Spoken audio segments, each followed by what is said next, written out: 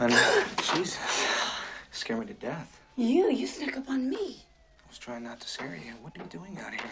Look at this. Isn't this wild? There was kind of a uh, intimacy between Demi and myself.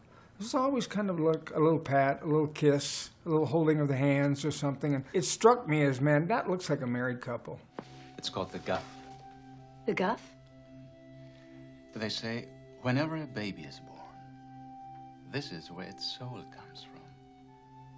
As the soul descends from heaven.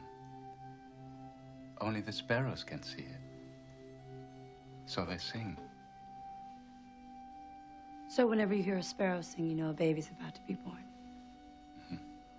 I look at like Demi and she, she looks like she's like 20. And I don't know, maybe she was 20. I don't know, maybe she was that young, but she was so young. And uh, she used to work so hard. And um, um, she was a great, really great, great person to work with.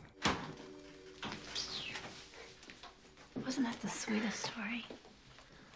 Sounded like a bunch of guff to me.